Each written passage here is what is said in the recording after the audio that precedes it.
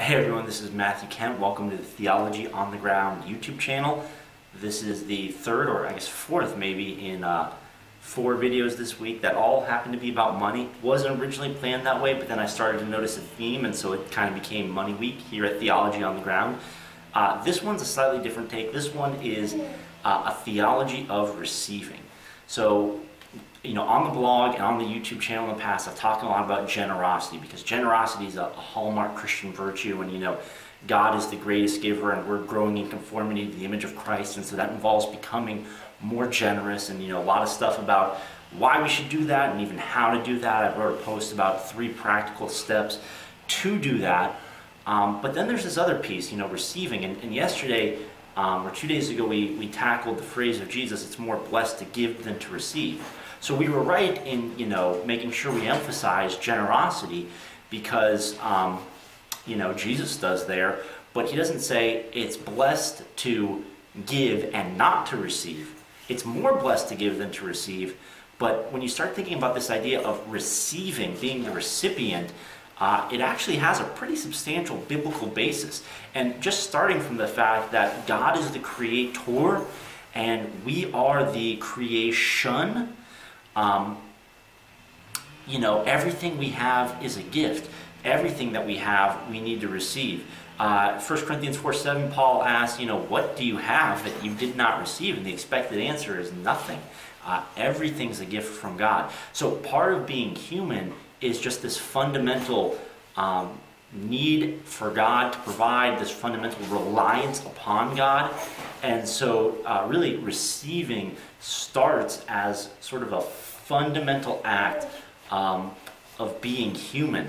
And I think that's where we need to start when we think about the area of, of receiving. Uh, but the other area I wanted to, to talk about today is just the, um, the aspect of another way that's sort of surprising that receiving is related to generosity. It's not that surprising, it's actually kind of obvious, but we're so self centered that we probably don't normally think about it.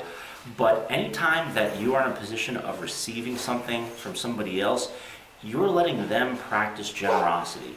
And so I still remember the time where I most clearly saw this in my own life was um, about 10 years ago, actually. I was 19 years old, and I was in Colorado one summer.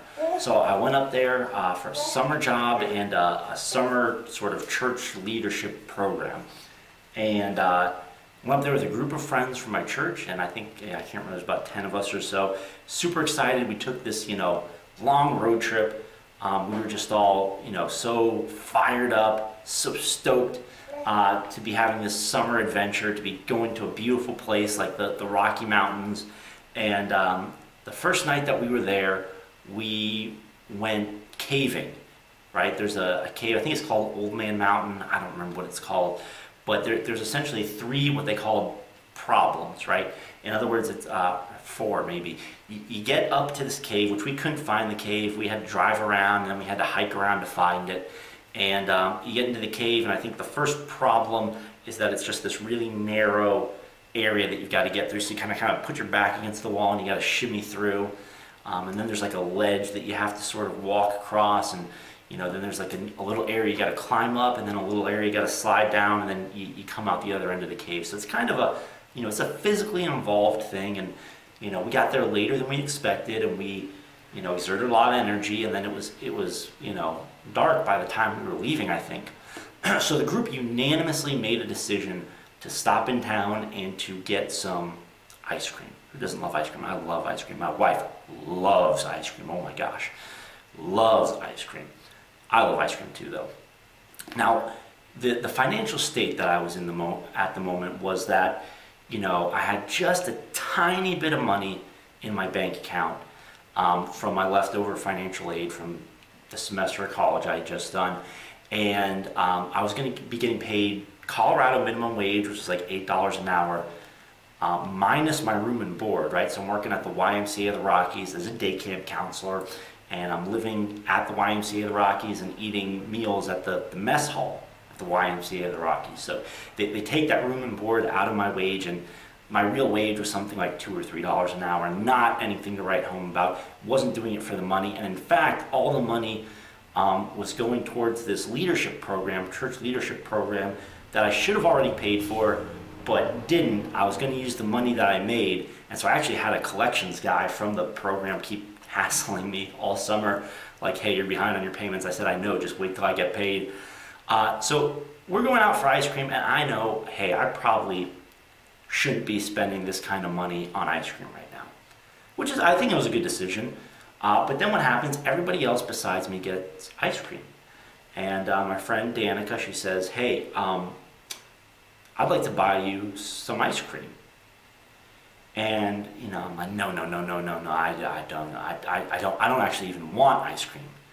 She's like, no, I, I want to, I want to buy some ice cream. Seriously, you want ice cream? I mean, don't, don't be like that. I'm like, no, I, I, I really don't want ice cream. And I think, and I might be exaggerating for dramatic effect, and it's been a long time since this happened. I think right after the interaction, like my stomach gave a loud grumble. I was, I was betrayed by my own bodily functions. Um, I mean, I did want ice cream. It was a lie. I should not have lied. And, you know, for a while, I only thought about it in terms of my own, how it affected me right? I was wrong to lie. I was wrong to be prideful in that situation. But really, you know, the greatest commandment is to love God with all your heart, soul, mind, strength. The second greatest commandment is to love your neighbor as yourself. And I really was not loving my neighbor there. If I were thinking about Danica, if I were thinking about um, what was best for her, I would know that it's a great and wonderful thing to let her practice generosity, to let her grow in Christ likeness in that respect. And in saying no, uh, I denied her that opportunity, all for my own sense of, you know, self-reliance or pride or, you know, whatever it was at the time. So, anyways, I think in this area of receiving, you know, number one, that's part of what it means to be human. Number two, it allows others to, to grow um, in conformity to Christ, which is what we're all after. I think the third piece that just we all need to, to tackle is just getting the order right. Um, so, you know, generosity is ultimately the piece that we're working towards, but in some areas you need to start with receiving.